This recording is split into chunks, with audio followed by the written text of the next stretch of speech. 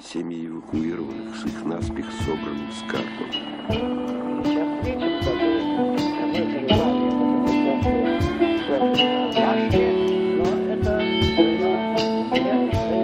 Конституции, сделать без